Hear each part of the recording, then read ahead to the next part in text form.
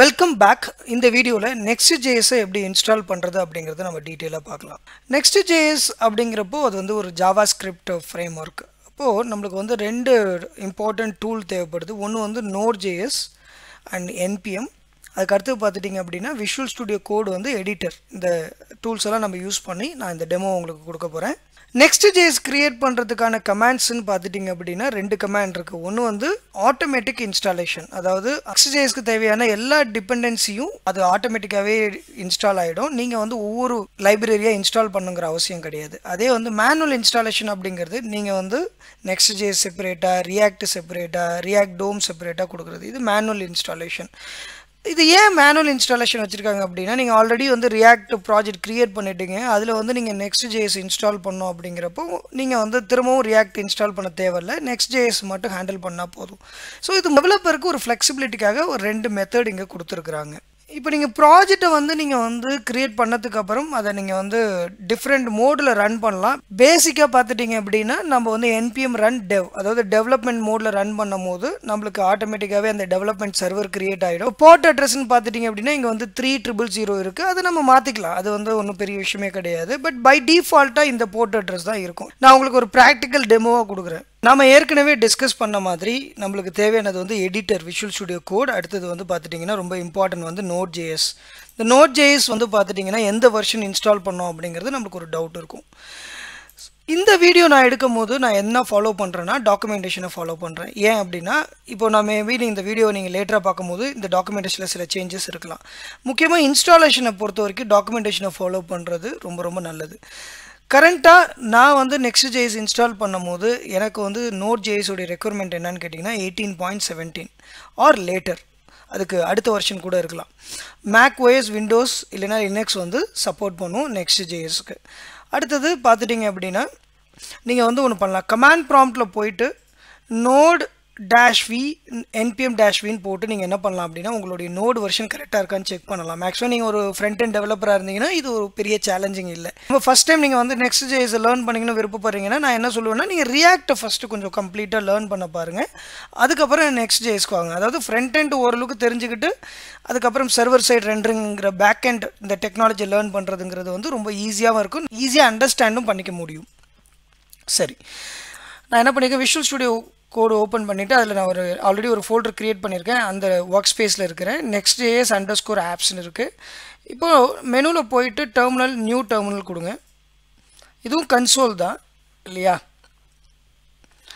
இந்த கன்சோலில் போயிட்டு நீங்கள் இங்கேயும் செக் பண்ணலாம். Node dash v npm dash v suppose இது சப்போர்ட் பண்ணலன்னா உங்கள் மிஷினில் ப்ராப்ளம் நீங்கள் இந்த நோடு என்பிஎம் இது ரெண்டுத்தையும் வந்து ஃபர்ஸ்ட் வந்து கரெக்டாக ஒர்க் ஆகுதுங்கிறத என்ஷூர் பண்ணிவிட்டு அதுக்கப்புறம் நீங்கள் வந்து நெக்ஸ்ட் ஜேஸ் இன்ஸ்டால் பண்ணுற ப்ரொசீஜரை ஸ்டார்ட் பண்ணுங்கள் செகண்ட் வந்து பார்த்துட்டிங்கன்னா நம்ம டாக்குமெண்டேஷனை ஃபாலோ பண்ண போகிறோம் இதான் command NPX create dash next dash app latest அப்படிங்கிறது. இதை நீங்கள் காப்பி பண்ணிங்க. இல்லைன்னா இங்கே காப்பி பண்ணிங்க. காப்பி பண்ணிவிட்டு திரும்ப உங்களுடைய விஷுவல் ஸ்டுடியோ கொடுக்குவாங்க பேஸ்ட் பண்ணுங்கள் என்ட்ரு கொடுங்க.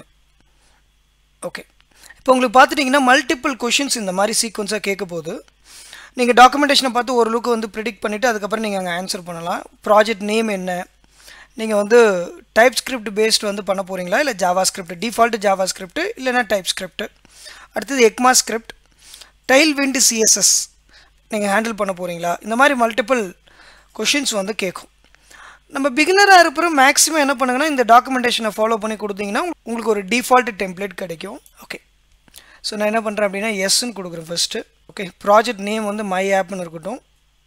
அடுத்தது TypeScript yes Tailwind yes source directory இங்கே என்ன டாக்குமெண்டேஷனில் என்ன கொடுத்துருக்காங்கன்னு பாருங்கள் டாக்குமெண்டேஷனில் வந்து பார்த்துட்டிங்க அப்படின்னா okay would like to use source டைரக்ட்ரின்னு கேட்டிருக்கிறாங்க. என்னை பொறுத்த வரைக்கும் எஸ் அது ஒரு அது அந்த சோர்ஸ் டைரக்டரியில் தான் நம்ம மற்ற முக்கியமான நம்மளுடைய பிஸ்னஸ் லாஜிக்கை எழுதுவோம்.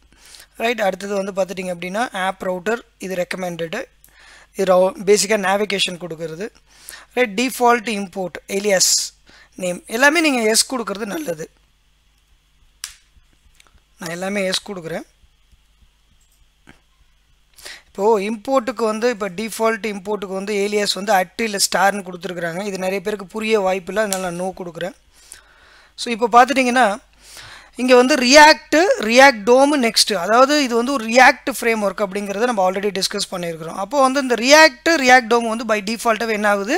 இன்ஸ்டால் ஆகுது. அது மட்டும் இல்லாமல் டைப் ஸ்கிரிப்ட் டைப் ஸ்கிரிப்ட்டுங்கிறது கம்பைலர் ரைட் டைப் ஸ்கிரிப்ட்டுக்குள்ளே நீங்கள் ஜாவா ஸ்கிரிப்டையும் எழுதிக்கலாம். இப்போ ஜாவா ஸ்கிரிப்டில் வந்து என்ன பண்ணால் இன்டர்பிரட்டர் ஃபீச்சர் டைப் ஸ்கிரிப்ட்டுங்கிறது compiler feature so TypeScript வந்து இன்னும் ஸ்ட்ராங்காக இருக்கும்.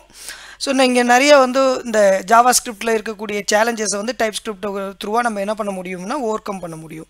ஃபார் எக்ஸாம்பிள் வந்து பார்த்துட்டிங்கன்னா ஜாவா ஸ்கிரிப்டில் உங்களுக்கு ஸ்ட்ராங்காக வந்து டேட்டா டைப்பை ஹேண்டில் பண்ண மாட்டோம். இப்போ டைப் ஸ்கிரிப்டில் ஹேண்டில் பண்ணுவோம். அந்த மாதிரி வந்து ஜாவா ஸ்கிரிப்டில் ஊப்ஸ் கான்செப்ட் பார்த்தீங்கன்னா கொஞ்சம் கன்ஃபியூஸ்டாக இருக்கும். அதே டைப் ஸ்கிரிப்ட் பார்த்தீங்கன்னா வந்து லைக் ஜாவா ஷீ ஷார்ப் மாதிரி வந்து அதே பேக் எண்டில் எப்படி யூஸ் பண்ணுறோமோ அதே மாதிரி நம்ம டைப் ஸ்கிரிப்ட் இங்கே யூஸ் பண்ண முடியும். ஸோ இந்த மாதிரி வந்து பார்த்துட்டிங்க அப்படின்னா மல்டிபிள் அட்வான்டேஜ் வந்து டைப் ஸ்கிரிப்ட்டுக்கு இருக்குது முக்கியமாக ஊப்ஸ் கான்செப்ட் அப்ரோச்லாம் ரொம்ப ஈஸியாக டைப் ஸ்கிரிப்டில் ஹேண்டில் பண்ண முடியும். அடுத்தது பார்த்தீங்கன்னா டைல் விண்ட் சிஎஸ்எஸ் யூஸ்வலாக வந்து பூட் ஸ்ட்ராப் வந்து ரொம்ப பாப்புலரான ஒரு சிஎஸ்எஸ் ஃப்ரேம் ஒர்க்கு லைப்ரரி இப்போ டைல் விண்ட் வந்து இந்த காம்பினேஷன் நல்லா ஒர்க் அவுட் ஆகிட்டு இருக்கு டைல் விண்டை நீங்கள் வந்து கூகுளில் சர்ச் பண்ணி பாருங்கள் ரொம்ப அருமையான ஒரு சிஎஸ்எஸ் டைல் விண்ட் சிஎஸ்எஸ் அப்படிங்கிறத நீங்கள் கூகுளில் சர்ச் பண்ணிங்க அப்படின்னா ரொம்ப ரொம்ப ஒரு சூப்பரான லைப்ரரி. இப்போ நீங்கள் வந்து காம்பனண்ட்டுன்னு கிளிக் பண்ணிங்கன்னா இந்த ரியாக்ட் காம்பனண்ட்டு ஆல்ரெடி டெவலப் பண்ண காம்பனண்ட் இங்கே கிடைக்கும். ப்ரீ டிஃபைன்டு காம்பனண்ட் நான் வந்து ஒரு டேஷ்போர்டு க்ரியேட் பண்ண போகிறேன் டேஷ்க்கு போர்டு வித் சைட் பார் இருக்கணும். இந்த மாதிரி வந்து பார்த்துட்டிங்க அப்படின்னா ரொம்ப எக்ஸலண்ட்டான யூசர் இன்டர்ஃபேஸ் வந்து இந்த காம்பனண்ட்டாக உங்களுக்கு கிடைக்கும். ஸோ இதனால் குயிக்காக நீங்கள் வந்து என்ன பண்ண முடியும் அப்படின்னா உங்கள் அப்ளிகேஷனை ரேப்பிடாக வந்து டெவலப் பண்ண முடியும். ஸோ இதுக்காக ரொம்ப நீங்கள் டைம் ஸ்பெண்ட்ங்கிறது அவசியம் கிடையாது. அதுதான் டெய்ல் விண்டோவில் இருக்கக்கூடிய மிகப்பெரிய அட்வான்டேஜ் இது. ரொம்ப அருமையான ஃப்ரேம் ஒர்க் இதுலேயுமே ப்ரீமியம் ஓப்பன் சோர்ஸ் அந்த மாதிரி இருக்குது நீங்கள் பிகினராக இருக்கும் போது இதில் இருக்கிறத யூஸ் பண்ணுறதுக்கே நம்மளுக்கு வந்து பார்த்துட்டிங்க அப்படின்னா டைம் இருக்காது. அந்த அளவுக்கு நிறைய ஃபீச்சர்ஸ் இருக்குது அதுக்கப்புறம் தான் நம்ம வந்து ப்ரீமியம் என்டர்பிரைஸ் கேட்டகரிக்கே போக போகிறோம் நெக்ஸ்ட் ஜேஸ் இன்ஸ்டாலேஷன் சக்ஸஸ்ஃபுல் ஆகிடுச்சு எந்த இஷ்யூஸும் இல்லை. பட் இங்கே வந்து பார்த்துட்டிங்கன்னா சில வார்னிங்ஸ் இருக்குது பார்த்தீங்கன்னா என்பிஎம் இன்ஸ்டால் வந்து அப்டேட் பண்ண சொல்லி கேட்டிருக்கிறாங்க. பண்ணணும்னா பண்ணலாம். ரைட் அப்படி இல்லைனாலும் எந்த இம்பேக்ட்டும் கொடுக்க போகிறதில்ல அடுத்து லாஸ்ட் பார்ட் நம்ம என்ன பண்ண போகிறோம் அப்படின்னா நம்ம வந்து ரன் பண்ணி பார்க்க போகிறோம் அதுவுமே நீங்கள் வந்து டாக்குமெண்டேஷனை ரெஃபர் பண்ணுறது பெஸ்ட் ப்ராக்டிஸ் எங்கே இருக்குது டாக்குமெண்டேஷனுக்கு கீழே வாங்க. இப்போ வந்து நீங்கள் வந்து டெவலப்மெண்ட் மோடில் வந்து ரன் பண்ணக்கூடிய ஸ்கிரிப்ட் ஒருவேளை நீங்கள் ப்ரொடக்ஷன் ஸ்டேஜுக்கு கொண்டு போகணும் அப்படின்னா பில்டு அதே ப்ரொடக்ஷன் செர்வரில் நீங்கள் வந்து உங்களுடைய அப்ளிகேஷன் பண்ணணும்னா ஸ்டார்ட்டு இந்த மாதிரி வந்து பார்த்துட்டிங்க அப்படின்னா மல்டிபிள் ஸ்கிரிப்ட் இது இருக்கும். இது வந்து லைக் வந்து ரியாக்டில் இருக்க மாதிரியே தான். இதில் எந்த சேஞ்சஸும் இல்லை. நீங்கள் கொஞ்சம் கீழே போனீங்க அப்படின்னா இந்த டாக்குமெண்டேஷனில் இந்த லாஸ்ட் பொசிஷனில் பார்த்தீங்கன்னா என்பிஎம் ரன் டெவ் ஸோ இந்த கமாண்டு தான் நம்ம வந்து டெவலப்மெண்ட் சர்வரை ஸ்டார்ட் பண்ணுறதுக்கான கமாண்ட் இதை காப்பி பண்ணிவிட்டு வந்து என்பிஎம் ரன் டெவ் என்று கொடுக்குறேன்.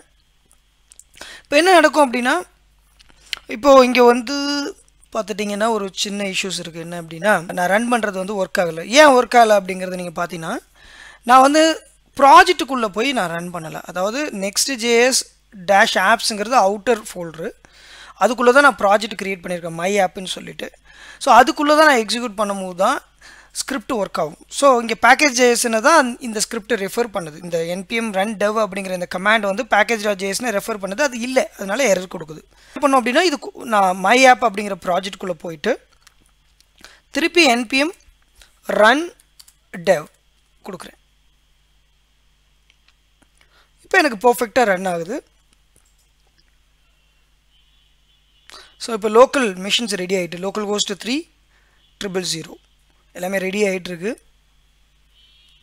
ஸோ நீங்கள் என்ன பண்ணலான்னா இதை காப்பி பண்ணி உங்களுடைய ப்ரௌசரில்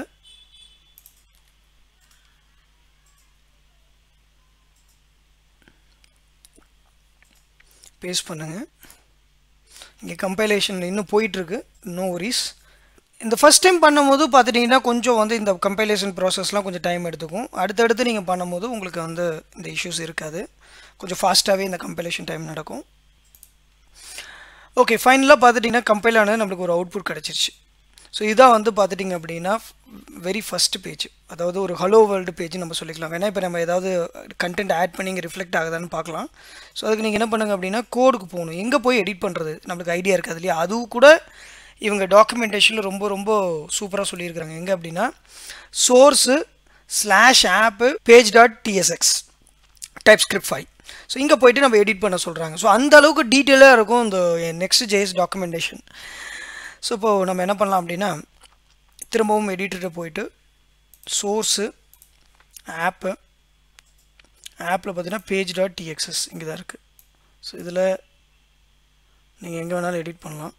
ஸோ இது வந்து நெக்ஸ்ட் ஜேஎஸ் இங்கே தான் லோகோ இருக்குது ஆக்சுவலி இந்த லோகோவுக்கு மேலே இந்த டிவ் டேக்கில் என்ன பண்ணுறேன் அப்படின்னா ஒரு ஹெச் ஒன் டேக் க்ரியேட் பண்ணி ஸோ நான் இங்கே என்ன கொடுக்குறேன் அப்படின்னா மாணவன் லேர்ன் கோட் அப்படின்னு கொடுத்து சேவ் பண்ணுறேன் சேவ் பண்ணிவிட்டு திரும்பவும் ப்ரௌசரில் போய் பார்க்குறேன். ஸோ இங்கே பார்த்துட்டிங்கன்னா ரிஃப்ளெக்ட் ஆகுது.